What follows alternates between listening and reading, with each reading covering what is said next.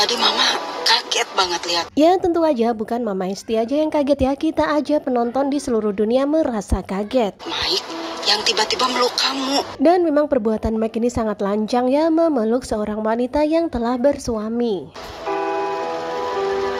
Dan tentu saja hal itu kalau sampai ketahuan akan membahayakan hubungan antara Jeffrey dan juga Novia.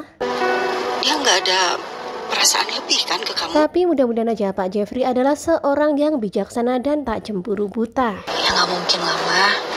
Dan tak ada yang tak mungkin Novia karena di zaman sekarang ini perselingkuhan meningkat bahkan pihak ketiga sudah mulai banyak yang mengganggu rumah tangga orang. Nggak mungkin punya perasaan lebih kamu. Karena ya memang cinta itu datang tanpa direncanakan. Tapi ya mudah-mudahan Novia nggak tertarik ya dengan si Mike. Lagian kan Mike tahu kalau aku ini udah punya suami. Ya di sini Novia terlihat polos ya sama sekali nggak ada perasaan yang enggak-enggak kepada Mike. Dia nggak mungkin punya perasaan yang lebih dari sekedar teman. Padahal di sini si Mike sudah merencanakan suatu rencana yang sangat buruk untuk Novia dan juga Pak Jeffrey. Ya, seharusnya memang seperti itu. Namun mudah-mudahan nanti teman-temannya Novia yang sebelumnya bekerja di Nice to Meet You dan yang sekarang masih bekerja di Nice to Meet You akan membantu Novia membongkar kebusukan Mike. Cuma perasaan mama aja kali ya.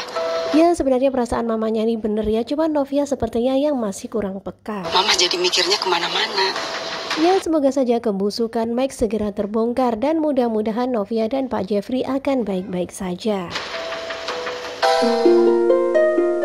Ya tentunya rekaman ketika si Mike sedang memeluk Novia itu akan dipergunakan Mike untuk berbuat kejahatan.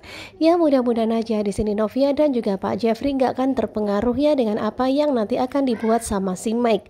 Mudah-mudahan aja nanti Jeffrey dan Novia tetap akan bersatu selamanya tak terpisahkan. Simak kelanjutan takdir cinta yang kupilih hanya di SCTV dan jangan lupa terus dukung Gugu Juba. Dan untuk trailer hari ini nantikan ya kira-kira siang ini atau sore nanti. Jangan pernah lewatkan. Terima kasih.